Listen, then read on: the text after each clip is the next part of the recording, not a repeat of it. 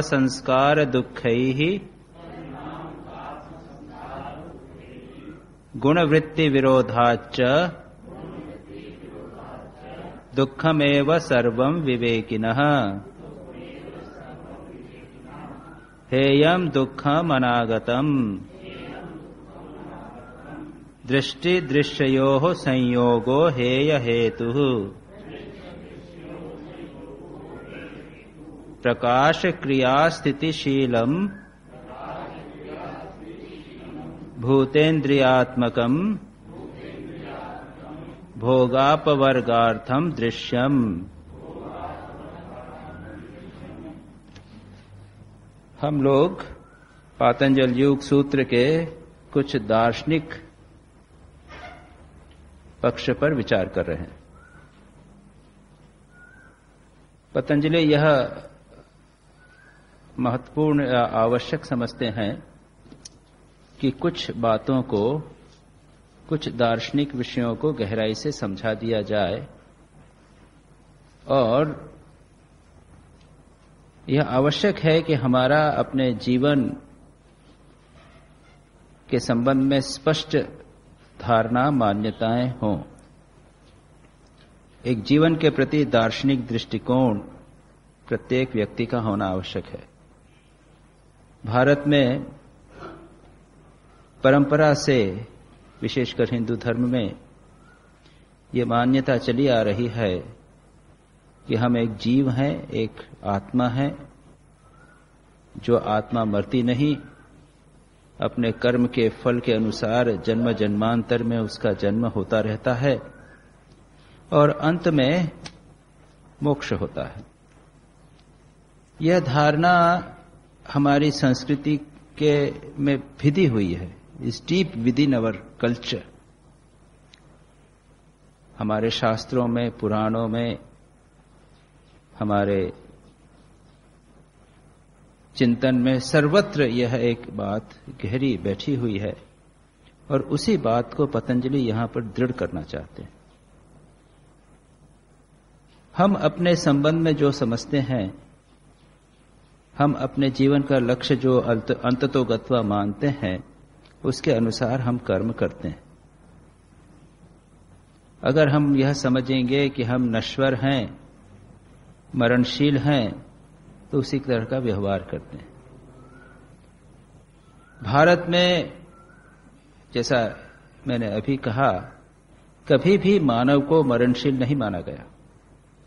गीता हो, रामचरित मानस हो श्रीमद् भागवत हो, महाभारत हो, जो भी हो, जो भी ग्रंथ हो, पुराण हो, जिन्होंने हमारी भारतीय संस्कृति को का निर्माण किया है, संतों ने, सभी ने यह बताया है कि जीव आत्मा अमर है और उसके साथ में कर्मों के कारण बंधन हो जाता है, इत्यादि इत्यादि। और यहाँ पर भी पतंजलि उसी बात को बार बार बताने का प्रयत्न करते हैं। कभी कभी यह लग सकता है कि अरे, योग बताने जा रहे हैं, अष्टांग योग बताए ना, क्या करना, क्या नहीं करना, इतने चपड़े में पड़ने की क्या आवश्यकता है? नहीं, आवश्यक यह आवश्यक है, एक दार्शनिक दृष्टिकोण, एक, a concept of life is important और वही बात एक यहाँ से लेकर पहले तो उन्होंने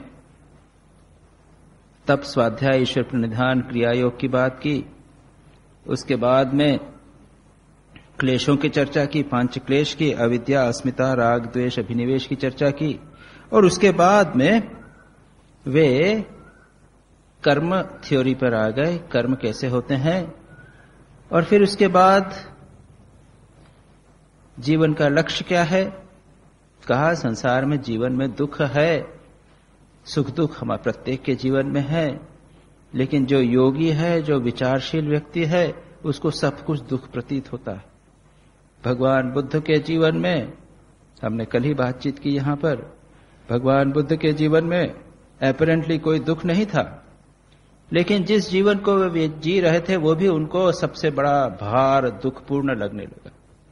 जो विचारशील व्यक्ति, विवेकी व्यक्ति है, उसके लिए सब कुछ दुख है। अब दुख को दूर कैसे करना? कौन सा दुख दूर करना? तो हमने देखा एक बहुत महत्वपूर्ण सिद्धांत पतंजलि बताते हैं कि देखो भाई, जो पुराना दुख हो गया, भूतकाल में जो दुख हुआ, उसको तो दुख हो गया, खत्म हो गया, अब तो है ही नहीं। उसके चिंतन करते करते अब दुख मत भोगो। और जो भविष्य में आने वाला है, उस दुख को दूर करने के लिए अभी से चेष्टा करो। जो वर्तमान में दुख है, उसको तो आपको सहन करना पड़ेगा। लेकिन जो भविष्य में होने वाला है, उसको दुख को दूर करना पड़ेगा, उसके लिए प्लान कर सकते हैं। We can plan that we don't suffer in future this can be plan उस प्लानिंग को अब चालू कर रहे हैं। उन्होंने फिलोसॉफिकली उसको बताने का प्रयत्न किया। अब जो दुख आने वाला है, होने वाला है, उसका कारण क्या पता चल जाए तो उसको दूर कर देंगे। जैसे यह पता चल जावे कि भाई, आने वाले दस सालों में, पंद्रह सालों में पानी की एक्यूट शॉर्टेज होने वाली है। पानी बहुत कम मिलने वाला है हम लोग को। तो इसके लिए क्या किया? अभी से प्लान करो। वाटर हार्वेस्टिंग करें। पानी को नष्ट न होने देवें। इसी प्रकार से अगर दुख के संबंध में हमको पता चल जाए कि दुख का कारण क्या है तो उसको दूर किया जा सकता है। और सत्रहवें सूत्र में पतंजलि ने कहा कि दुख का कारण क्या है? दृष्टि और दृश्य का संयोग। Union between that which is experienced and the experiencer जो दृष्टा है और जो दृश्य है, उसका संयोग। अब पतंजलि दृष्टि, दृष्टा और दृश्य क्या है, इसको समझा रहे हैं। हम यहाँ तक आए थे, इसके आगे हम आगे भी बढ़े थे। उन्होंने आगे के दो सूत्रों में बताएँगे यह दृश्य क्या है। अब दृश्य का अर्थ हम सब समझते हैं। जो हम देख रहे हैं, आप लोग बैठे हैं, आप जो, मैं आपको देख रहा हूँ। आप देख रहे हैं सामने, आप मुझे बैठा हुआ देख रहे हैं, पीछे फ़ोटो देख रहे हैं, ये स्टेज देख रहे हैं, ये दृश्य हो गया। पतंजलि कहते हैं ना इसके अलावा भी यह देह भी दृश्य है, यह मन भी दृश्य है, यह बुद्धि भी दृश्य है, यह अहंकार भी दृश्य है, यह सब कुछ दृश्य है। इन वन वर्ड त्रिगुणात्मिका प्रकृति सारी की सारी दृश्य। और यहाँ पर सांख्य दर्शन का सिद्धांत आता है। दो में, मुख्य तत्व हैं, एक प्रकृति और दूसरा पुरुष। पुरुष, प्रकृति यानी ये त्रिगुणात्मिक समस्त जगत, मन, बुद्धि, अहंकार भी, ये जो बाहर का जगत दिखा देता है, ये स्थूल मैटर है। जो हमारा आंतरिक मन, बुद्धि है, ये सूक्ष्म मैटर। और स्वामी विवेकानंद इस पर विवेचना गहराई से करते हुए कहते हैं कि हमारा सूक्ष्म मैटर स्थूल मैटर का निर्माण करता है। ये उन्होंने विदेशों में इस बात को लेक्चर देकर समझाया था।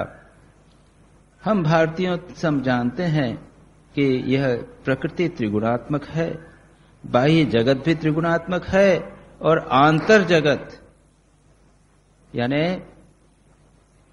माइक्रोकॉस्म एंड मैक्रोकॉस्म, जो बाह्य जगत है और आंतर जगत है, यह भी त्रिगुणात्मक है। हमारा आंतर जगत वो है सूक्ष्म जगत जो है, मन, बुद्धि, विचार इत्यादि, ये भी थ्री तीन गुणों से मिले हुए हैं। जब हम तमोगुण से अभिभूत हो जाते हैं, तब नींद आ जाती है। जब रजोगुण से अभिभूत हो जाते हैं तो हमारा मन चंचल हो जाता है। हम कुछ कर्म करने की इच्छा करते हैं। और जब सत्वगुण से अभिभूत होते हैं, तब हमारा मन शांत, प्रसन्न होता है। हम ज्ञान प्राप्त, ज्ञान की स्प्रिया होती है, मन शांत हो जाता है। ये तीन गुण मन में भी हैं। तो यहाँ पर क्या कहा गया? अठारहवें सूत्र में कहते हैं, प्रकाश क्रिया स्थितिशीलम।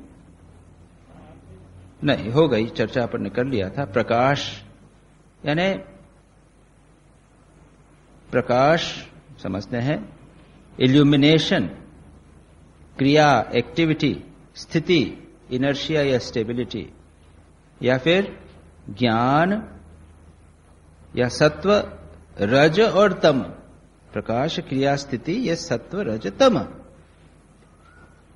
से युक्त, ये किसको वर्णन कर रहे हैं? दृश्य का वर्णन कर रहे हैं। जो दृश्य है, मन या बाहर का जगत, इन तीनों में ये तीन तरह की प्रक्रियाएँ हो रही यह लाइट जल रही है, फ़ैन चल रहा है, क्रियाशीलत्व है।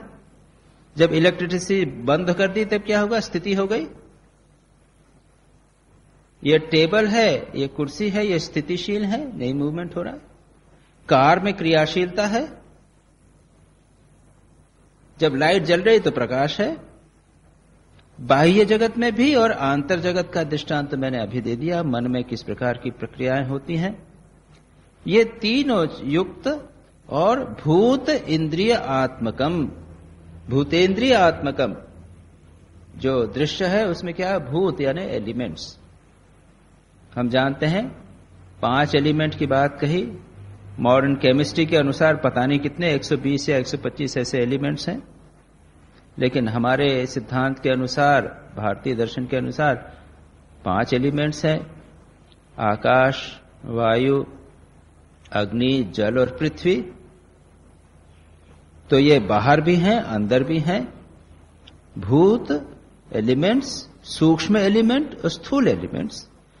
और इंद्रिय ज्ञानेन्द्रिय कर्मेंद्रिय और मन। ये ग्यारह इंद्रियाँ। तो जो भी दृश्य है, वह बाहर भी है, अंदर भी है, इंद्रिय भी है, मन भी है। यह सब का सब दृश्य है।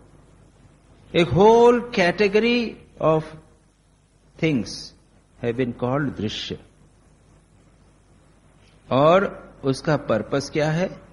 भोगाप वर्गार्थ वह भी मैंने एक्सप्लेन किया था। भोग यानी एक्सपीरियंस सुख दुख का एक्सपीरियंस और अपवर्ग, सुख दुख के एक्सपीरियंस से छुटकारा। हमने खाया, पेट भर गया, आपका नहीं चाहिए। तो भोग भी कर लिया और उसके बाद में जब सेटिस्फाई हो गए, उससे हम संतुष्ट हो गए, उससे छुटकारा पा लिया। तो प्रकृति का उद्देश्य या दृश्य का उद्देश्य क्या है? जो जीव है, उसका जो आत्मा है, जो पुरुष है, उसका भोग अपवर्ग उसका भोग यानी एक्सपीरियंस और अपवर्ग यानी लिबरेशन दोनों। यहाँ तक हमने चर्चा की थी। ठीक है ना? संभव था आप लोगों को याद होगा, पिछली बार मैंने यहाँ तक की थी। इसके विस्तार में जाने का की आवश्यकता नहीं। और उसके बाद के भी जो कुछ पोर्शंस हैं, उसको मैं आज पच्चीसवें सूत्र सूत्र तक पूरा तेज़ी से समाप्त करने का प्रयत्न करूँगा। मैं डिटेल्स में जाना नहीं चाहता। थ्योरी है, आप लोग समझते हैं। हमें भारतीय दर्शन की छाप आप लोगों के मन में है। मूल बातें आपको बताने का प्रयत्न करूँगा। विशेष अविशेष लिंग मात्र अलिंगानी गुण परवाणी।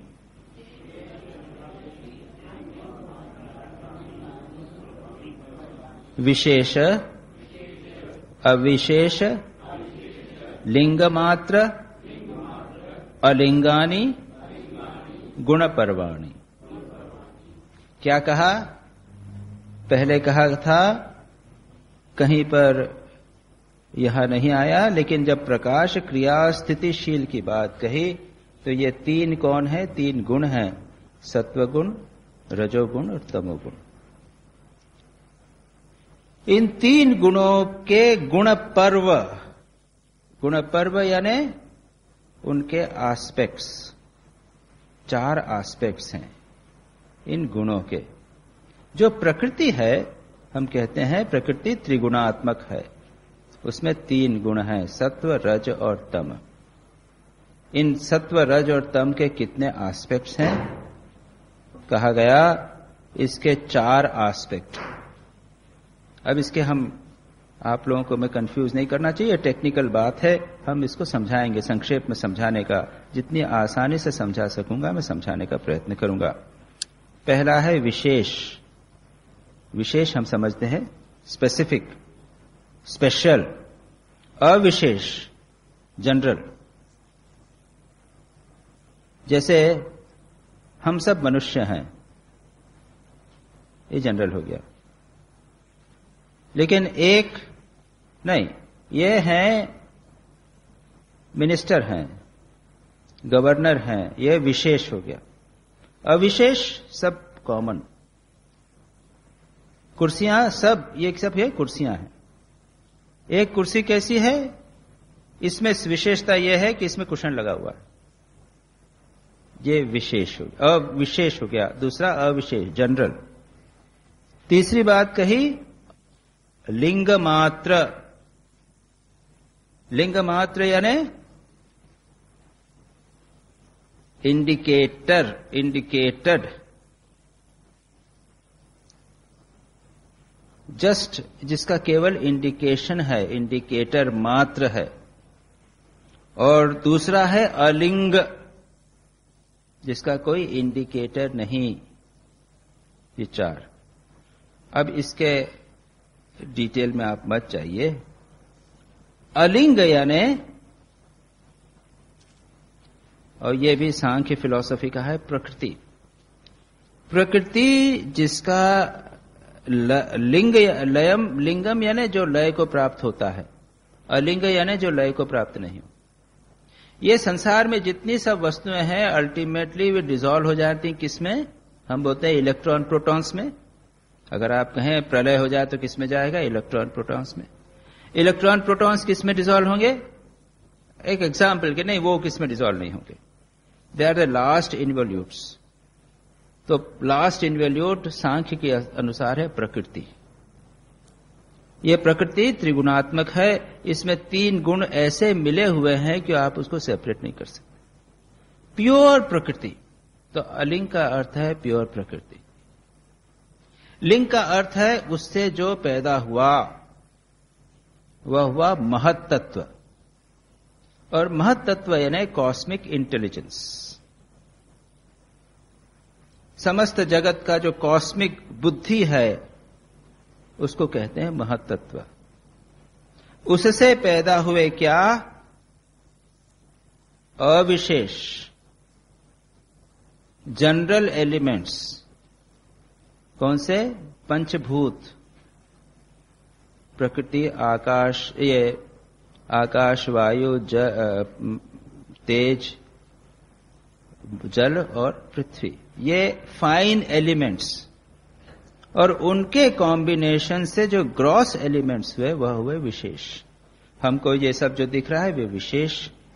इनको अगर आप डिसॉल्व करें तो किसमें? पाँच तत्वों में डिसॉल्व करेंगे। कहते हैं, हम जब मर जाते हैं तो क्या होता है? हमारे भीतर जो जल है, वो जल में विलीन हो जाता है। हमारे अंदर जो पृथ्वी तत्व है, पृथ्वी तत्व में चला जाता है, अग्नि तत्व में चला जाता है। हम जब शरीर मर जाता है तो उसके बाद से वायु वायु तत्व में चली जाती है। सब हम, हमारा जो शरीर है, ये पंच तत्वों से बना हुआ, पंच तत्वों में विलीन हो जाता है। हम सब जानते हैं, ठीक है ना? तो हम, हमारा जो फ़िज़िकल बॉडी है, ये तो विशेष। लेकिन यह बना किससे था? पंच तत्वों से। वे अविशेष। और ये अविशेष किससे पैदा हुए थे? ये कॉस्मिक इंटेलिजेंस या महत्त्व से पैदा हुए थे। और ये महत्त्व कहाँ से उत्पन्न हुआ था? यह हुआ प्रकृति से। प्रकृति क्या है? वह आदि कारण है। और जो ग्रॉस मैटर है, वो क्या है? वह आदि कार्य है। एक श्रृंखला बनी हुई है। प्रकृति का कोई कारण नहीं। प्रकृति के लेकिन विकृति होती है। जो महत्त्व है वह विकृति है। उसमें चेंजेस आ गए। महत्त्व से बाकी चीज़ें पैदा होती हैं।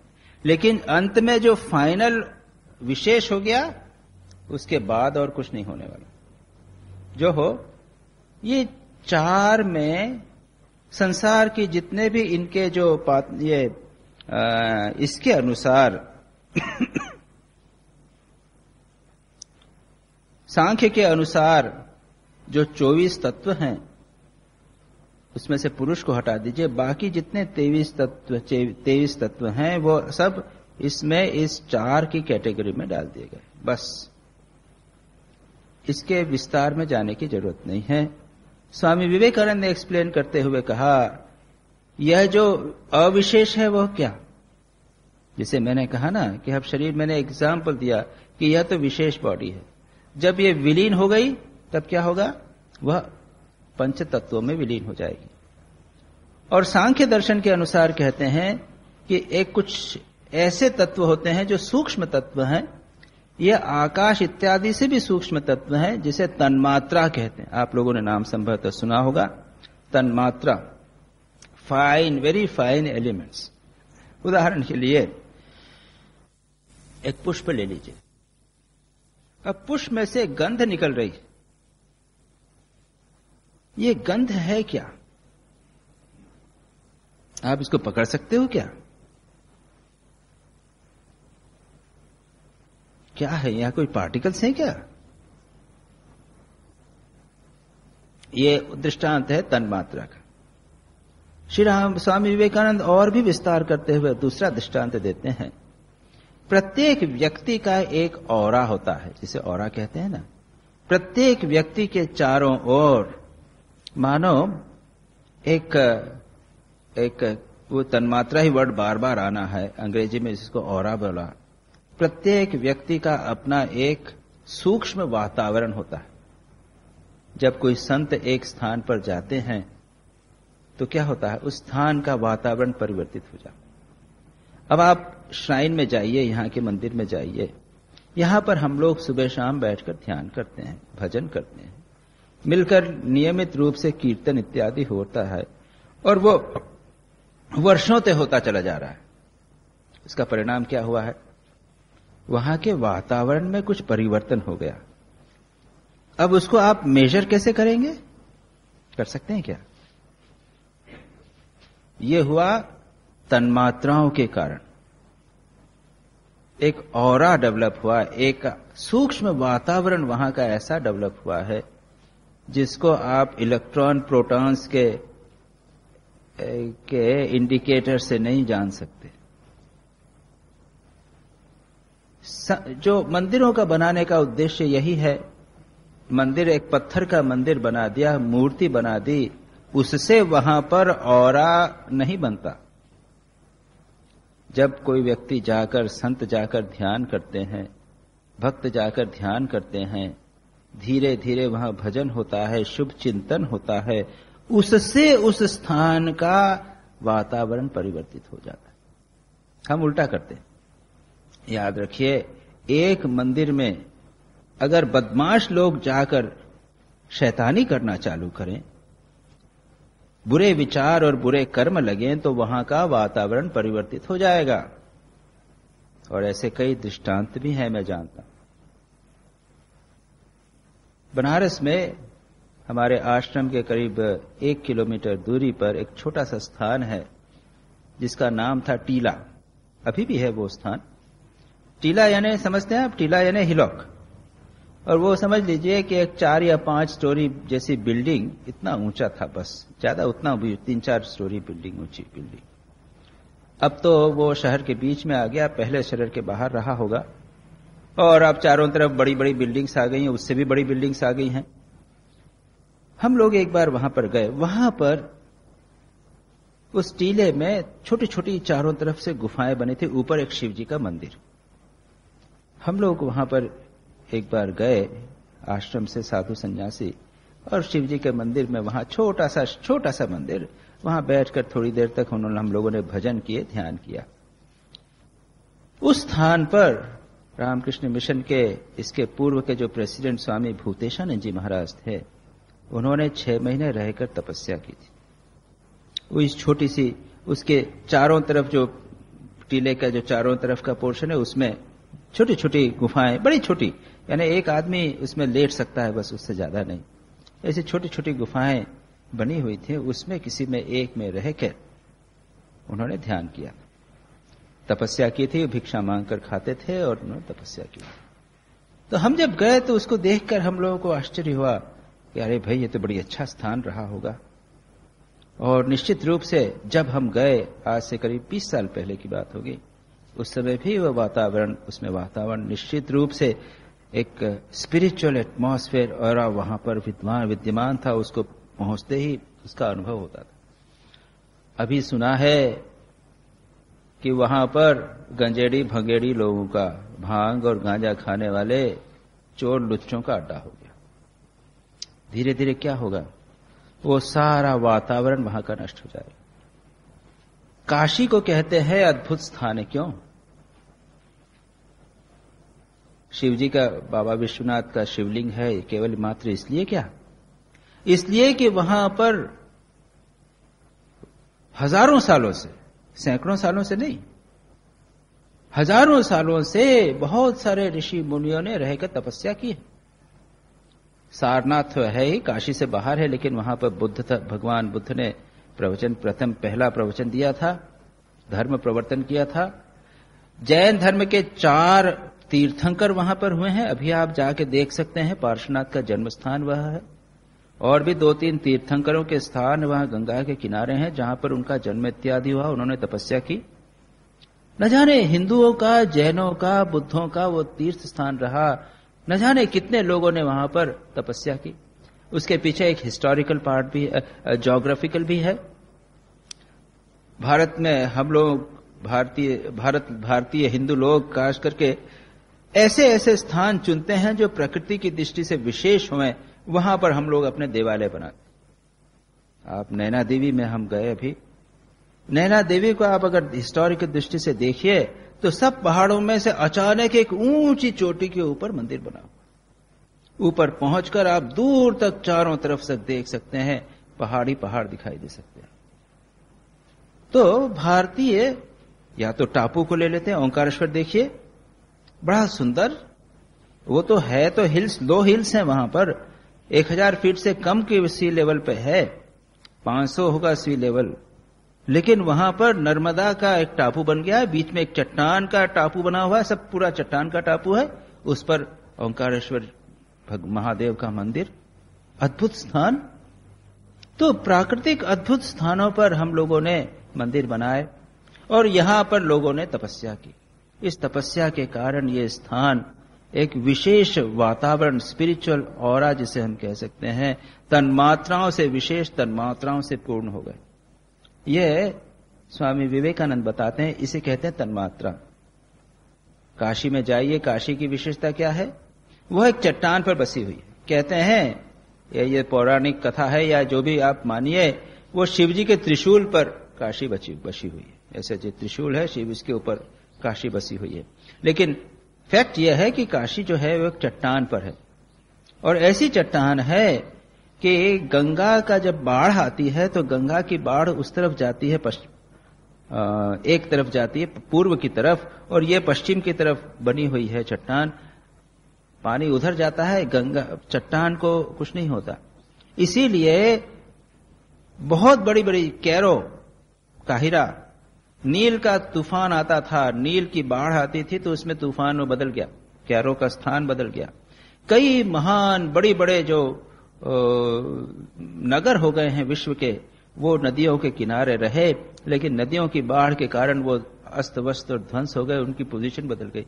काशी इज़ दी कहते हैं, Kashi is the oldest living city in the world तो हमारे ऋषियों ने उसको पहचान लिया कि यह बड़ा अच्छा स्थान और वहाँ बाबा विश्वनाथ को बिठा दिया। वहाँ जाकर तपस्या करने लगे। देखिए कितने दूरदर्शी थे। धीरे धीरे वह स्थान एक आध्यात्मिक संपदा का एक केंद्र बन गया। हरिश्चंद्र से सब कुछ मांगा कि तुम्हारे पास जो सब कुछ है वो मुझे दे दो, दान में हरिश्चंद्र ने दे दिया। उनकी सारी पृथ्वी को दान में दे दिया। फिर कहाँ रहोगे तुमने? सब कुछ तो मुझे दान दे दिया।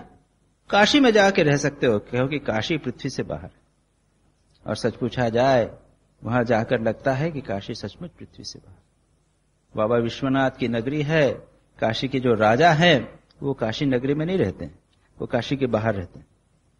बाहर रहकर उसके नदी है, उसको क्रॉस करके दूसरी तरफ़ वो रहते हैं, और वहाँ से काशी का एडमिनिस्ट्रेशन देखा करते थे। अब तो सर सरकार हो गई है, लेकिन एडमिनिस्ट्रेशन बाहर से हुआ करता तो कहने का तात्पर्य यह है कि इन स्थानों पर बहुत से महापुरुषों ने रहकर तपस्या की थी और इसीलिए वहाँ के वो जो स्थान है, वो तीर्थ बन गए। उनका एक और बन गया। प्रत्येक स्थान का और होता है एक। अगर आप एक नाइट क्लब में जाएँ, एक कैसिनो में जाएँगे तो उसमें आप पाएँगे कि एटमॉस्फेयर दूसरे ही प्रकार का है। और लेकिन यह ध्यान रखना है कि यह जो एटमॉस्फेयर बने हैं ये एटमॉस्फेयर मानव के कारण, संतों के कारण बनते हैं। इसीलिए कहा जाता है, तीर्थी कुरवंती तीर्थानी। संत महापुरुष उन तीर्थों को तीर्थ बनाते श्री रामकृष्ण कह, श्री रामकृष्ण जब तीर्थों के लिए गए थे तो कैसे गए थे? उनके श्री रामकृष्ण ने भी तीर्थ यात्रा की थी। उसका उद्देश्य क्या था? श्री रामकृष्ण के तीर्थ जाने का उद्देश्य था कि उन स्थानों पर जाकर अपने प्रभाव से उन तीर्थों के आध्यात्मिक संपदा को और बढ़ा देना। और हम जब जाते हैं तो उस संपदा को से हम लाभ उठाते हैं। तीर्थ जाने का उद्देश्य है कि हम एक ढर्रे में रह रहे हैं, एक जीवन पद्धति, सांसारिक जीवन पद्धति में रह रहे हैं। अब उसको थोड़ा सा चेंज आवश्यक है। चलो भाई, तीर्थ में जाएँ। वहाँ पर इंटेंस स्पिरिचुअल वाइब्रेशंस हैं। उन वाइब्रेशन से हमको थोड़ा सा बूस्ट मिलेगा। उसके बाद में हम आध्यात्मिक जीवन में और लगे रहेंगे। तो यह मैंने केवल इस बात को समझाने का प्रयत्न किया जो यहाँ पर इस शब्द आया है, अविशेष। अविशेष यानी तन्मात्राएँ, ये सटल एलिमेंट्स ये एक ऐसी चीज़ है जिसको नकारा नहीं जा सकता। जिसको मॉडर्न फ़िज़िकल साइंस एक्सप्लेन भी नहीं कर सकता फिजिक्स एक्सप्लेन भी नहीं कर सकता। लेकिन यह है। उसके बाद तीसरी चीज़, उसके ऊपर है लिंग मात्र। वह महतत्व या कॉस्मिक इंटेलिजेंस और उसके बाद में अलिंग। अलिंग हुआ प्रकृति। जो अल्टीमेट है, तीन गुणात्मिक, त्रिगुणात्मिक प्रकृति, जिसमें कोई चेंज नहीं हुआ मूवमेंट नहीं हुआ सम भाव में है, वह हुई प्रकृति। ये सारा का सारा हुआ दृश्य। ये अठारवे और उन्नीस के सूत्र में दृश्य का वर्णन किया गया। अब दृष्टा क्या है, इसको भी देख लें। बीसवा सूत्र, दृष्टा दृषि मात्र शुद्धोपि प्रत्ययानुपश्य।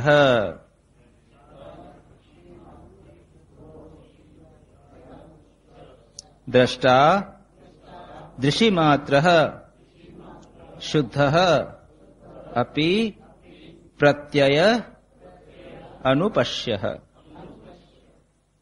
यह दृष्टा क्या है? यह दो बातें तो आ गई। दृष्टा, दृश्य और संयोग। और पतंजलि तीनों शब्दों को एक्सप्लेन करेंगे। दृश्य को एक्सप्लेन कर दिया अठारवे और उन्नीसवें सूत्र में। अब लीजिए बीसवें सूत्र में कहा, दृष्टा कौन है? दृष्टा है दृषि मात्र। ओनली विटनेस प्योर विटनेस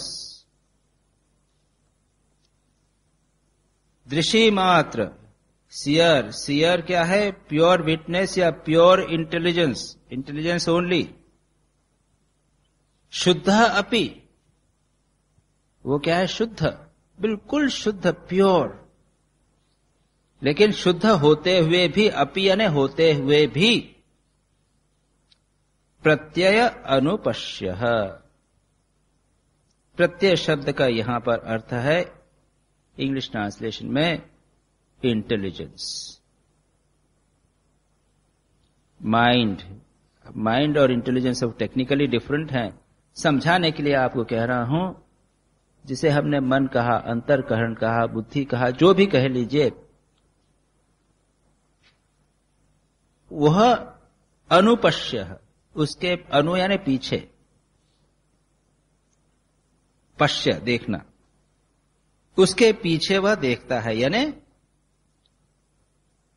दृष्टा दृषि मात्र, वह दृष्टा या जिसे पुरुष कहा, आत्मा कहा, जो भी पातन सांख्य के अनुसार पुरुष इस, जैसा मैंने अभी कहा था, चैतन्य है, शुद्ध है, कुछ एक्सपीरियंस इत्यादि कुछ नहीं है लेकिन वह शुद्ध होते हुए भी प्रत्यय यानी बुद्धि के पीछे अनुभव करता है, बुद्धि के माध्यम से अनुभव करता है, बुद्धि के निकट आने के कारण वह अनुपश्य अनुभव करता है, पश्य देखता है। और बड़े आसानी से समझाया, जिसकी हमने चर्चा कई बार की है। एक स्फटिक को आप एक लाल कागज़ के ऊपर रख दीजिए। तो स्फटिक तो स्फटिक है, साफ़ है, शुद्ध अपी। प्योर है। स्फटिक में कुछ नहीं है। और उसको लाल का कागज़ पर रख दीजिए, काले कागज़ पर रख दीजिए तो क्या होगा वो काला हो गया? काला दिखने लग गया। ये काला क्या है? लाल क्या है? कागज़ क्या है? इस तुलना में, इस दृष्टांत में यह है बुद्धि। बुद्धि के निकट शुद्ध आत्मा या शुद्ध चैतन्य, शुद्ध पुरुष आता है, और वह उसके कारण लाल रंग का, पीला रंग का, काला रंग का, मन में, बुद्धि में जो विचार इत्यादि उठते रहते हैं, उसके रंग का हो जाता है। कितने प्रकार के विचार? प्रकाशशील, क्रियाशील, स्थितिशील हो जाता है। पुरुष जो है, अगर तमोगुण होगा तो कहेगा कि मैं डल हूँ, मुझे नींद आ रही है, मुझे आलस आ रहा है। मुझे, बुद्धि में ये सारी बातें हो रही हैं बुद्धि चंचल हो रही है, वो कहता है, मैं चंचल हो गया। तो बुद्धि के माध्यम से वह विकारी सा प्रतीत होता है, विकारी होता नहीं। तो यहाँ पर यह किसका, दृष्टा का वर्णन किया गया। इसके विस्तार में भी जाने की आवश्यकता नहीं। यह आसान है, हम समझ सकते हैं इस चीज़ को कि इसको अंत तो गत्वा हमको दोनों को अलग करना है। अभी ये दोनों इतने मिले हुए हैं, जुड़े हुए हैं, मैंने कई बार कहा, इसको चित जड़ ग्रंथि कहते हैं। दोनों जो जड़ प्रकृति है और चेतन पुरुष है, एक दूसरे के निकट आकर युक्त हो गए। अभी आगे और इसको समझाया जाएगा। तदर्थ एव दृश्यस्य आत्मा। तत् अर्थ एव दृश्यस्य आत्मा। क्या कहा गया? कहा गया कि तदर्थ एव।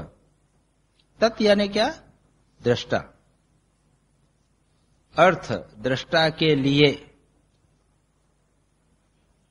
तदर्थ, कहते हैं ना? उसके लिए है ये चीज़। हम लाए, एक फल लाए, किसके लिए है? ठाकुर के लिए। मंदिर में लाए हैं, एक मिठाई लाए हैं। मिठाई रख दिया, वहाँ पर बास्केट में रख दिया। किसके लिए है? ठाकुर के लिए। तदर्थ, ठाकुरार्थ श्री रामकृष्ण अर्थ अर्थ शब्द का यह अर्थ है, तदर्थ एव उसके लिए ही दृश्य से आत्मा। दृश्य, अभी दृश्य का पूरा वर्णन हो चुका है मैं वापस बार बार नहीं बताऊँगा।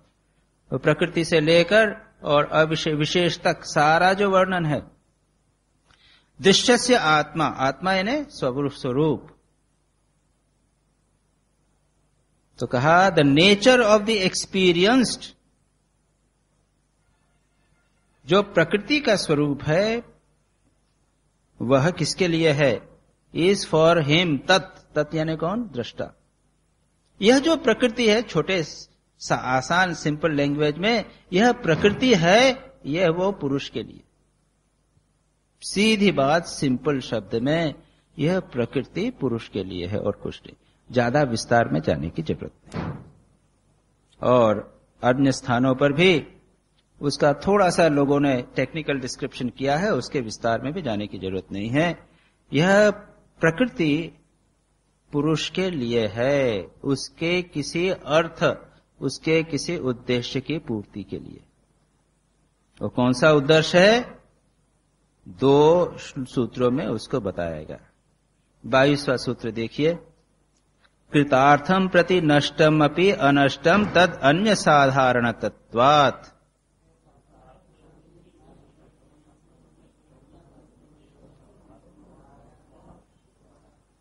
कृतार्थम प्रति नष्टम अपि अनष्टम तत् अन्य साधारणत्वात्। तद अर्थ बात कही ना। अर्थ क्या है? उद्देश्य क्या है?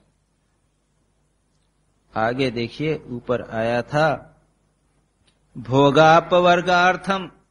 या अठारहवें सूत्र में देखिए भोग वर्गार्थम अर्थ शब्द वहाँ पर आया। पुरुष के भोग और अपवर्ग के लिए प्रकृति की आवश्यकता है। पुरुष यानी आत्मा जो शुद्ध है, मुक्त बुद्ध स्वभाव है, उसका भोग यानी एक्सपीरियंस किसका? सुख दुख का एक्सपीरियंस जन्म मृत्यु का एक्सपीरियंस हम सबको हो रहा है।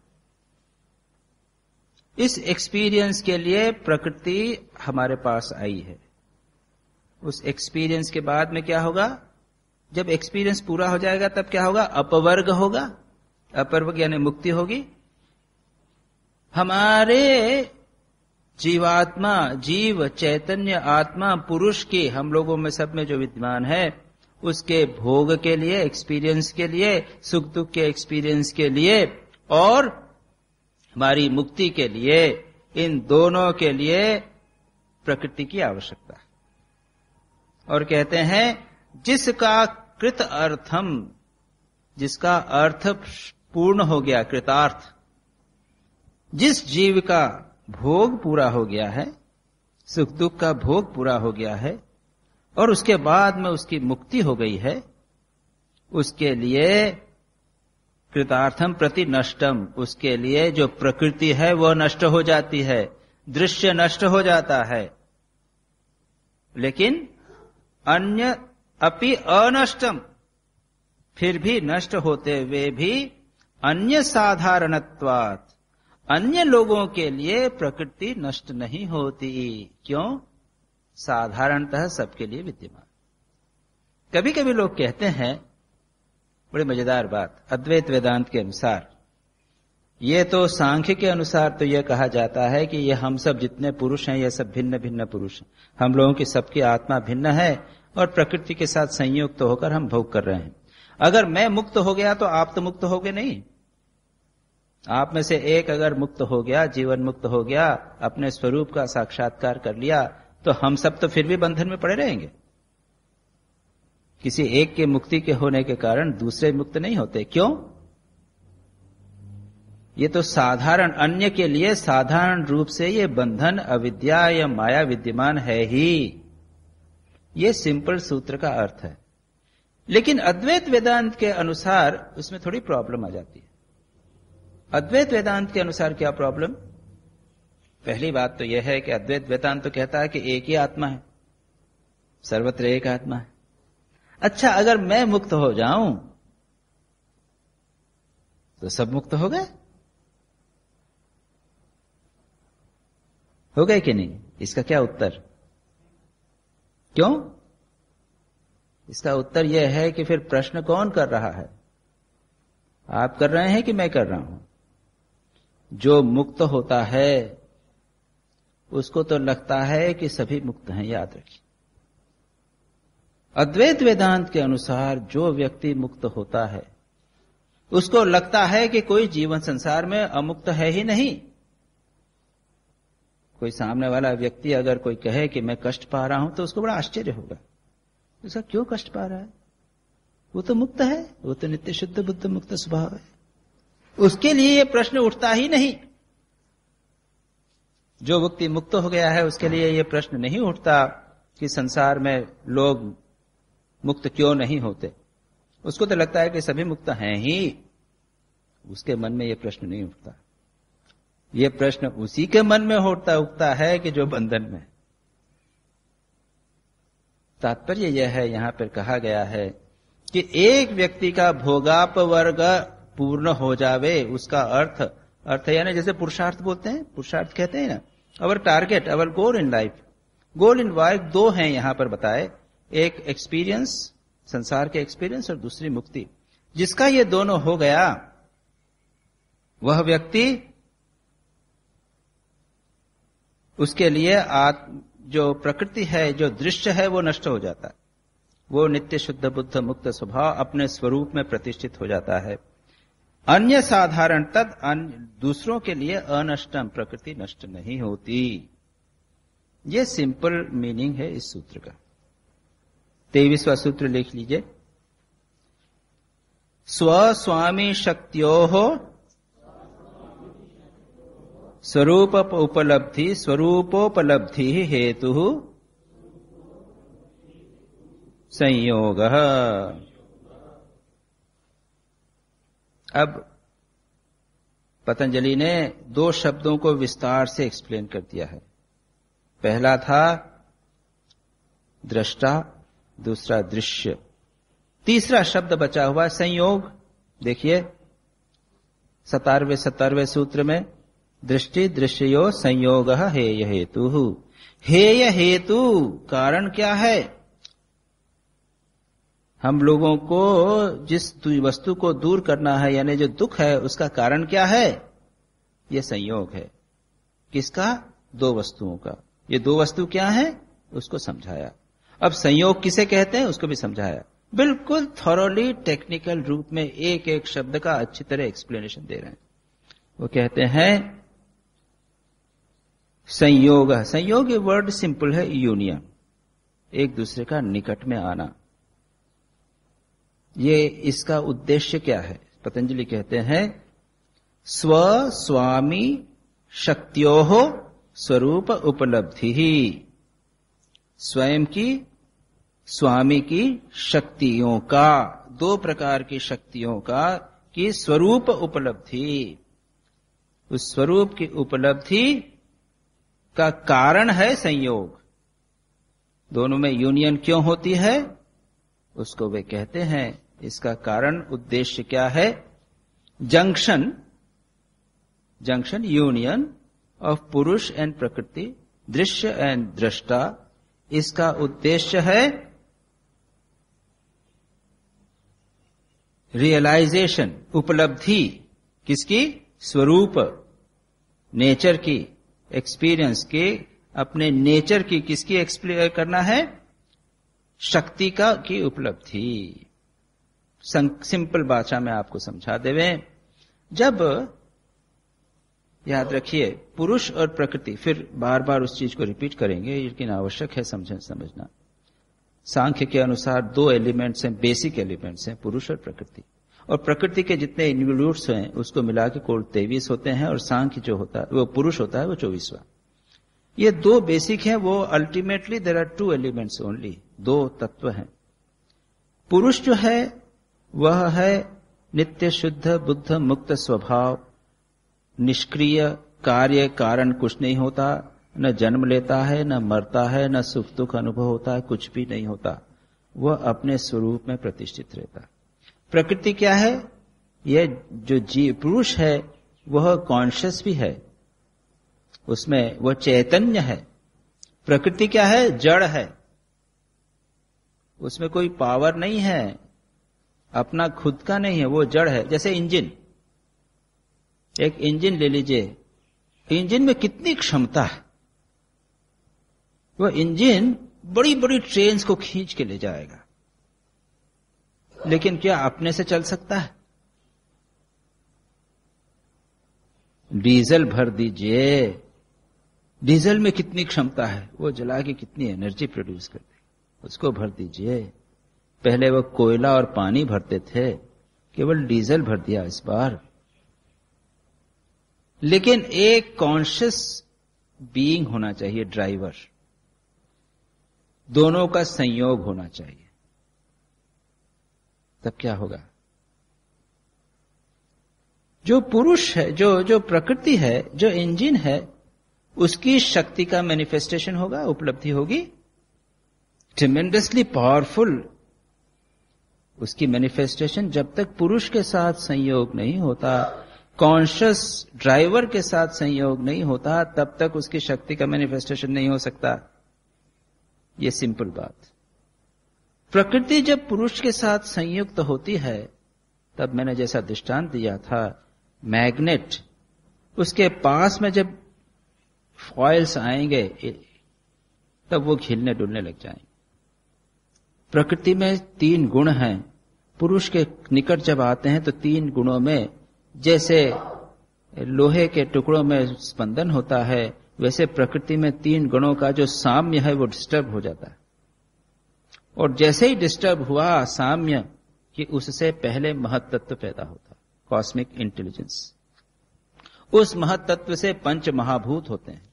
पंच सूक्ष्म भूत, तन मात्रा जो मैंने कही, उससे फिर पंच सारी जगत होता है।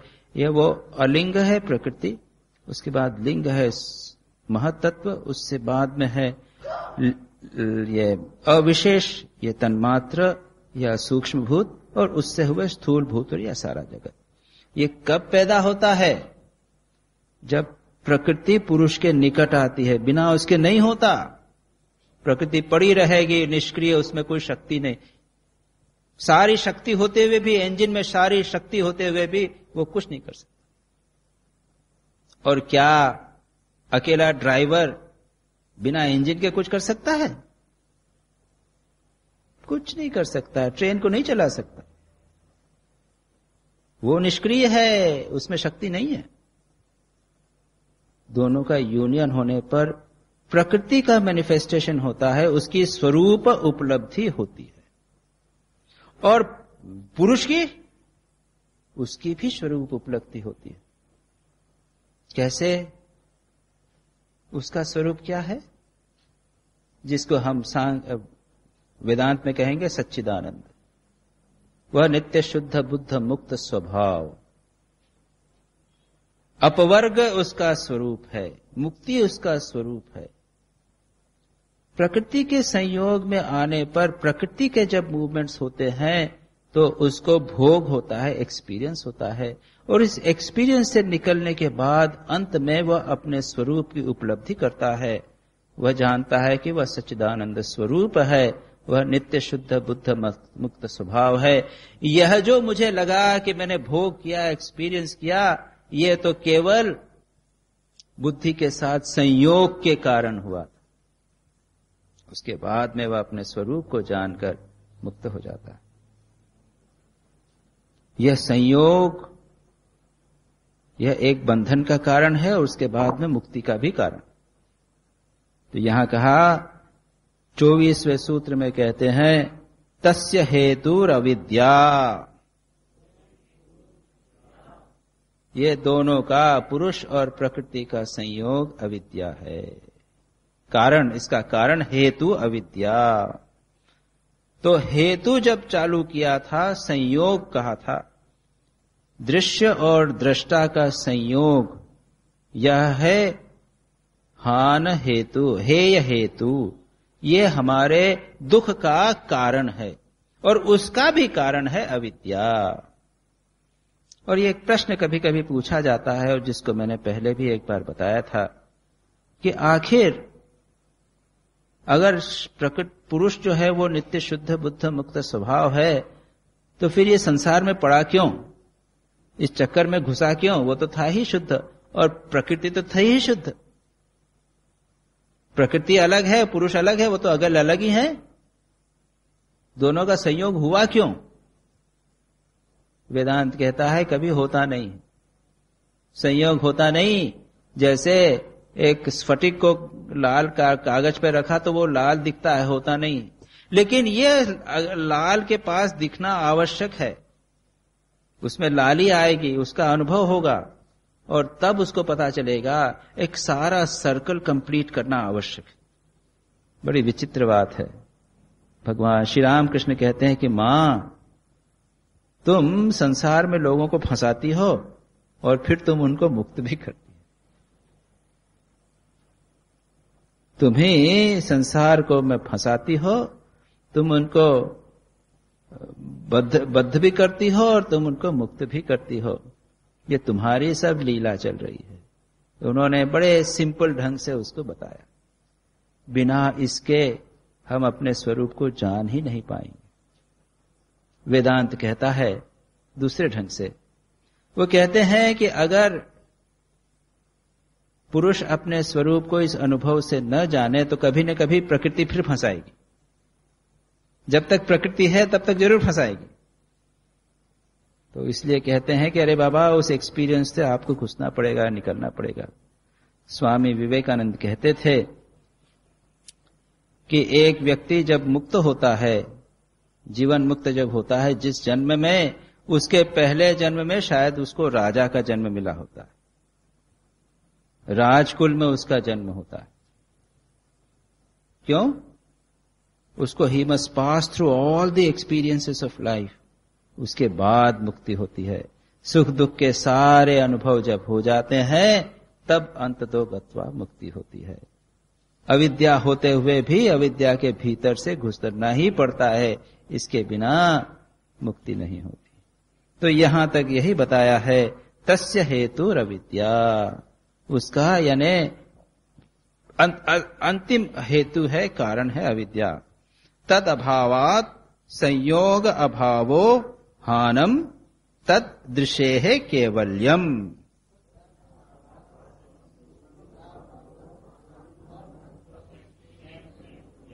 तत् अभावात संयोग अभाव हानम तत् दृश्य है कैवल्यम।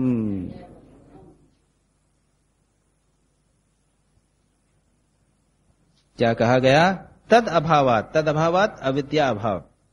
अविद्या के अभाव होने पर क्या होगा? संयोग अभाव हो जाएगा। संयोग जो हुआ, दोनों का यूनियन वह अविद्या कारण हो गया। अविद्या नाश होगी तो दोनों का संयोग नहीं होगा। और संयोग अभाव होने पर क्या होगा? हान, इसी को कहा हानम। One is hey that which must be removed हानम means to remove that state when it is removed हा हेय हानम हेय हेय हेतु हानम और हान उपाय ये चार मैंने कहा था, ये योग के चतुष्पाद जैसे कहा।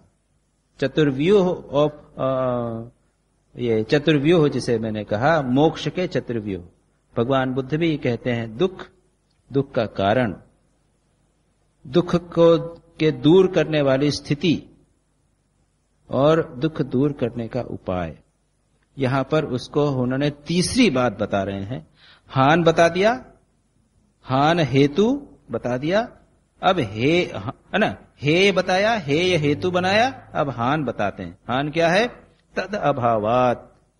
अविद्या का अभाव होने पर संयोग का अभाव हो जाएगा।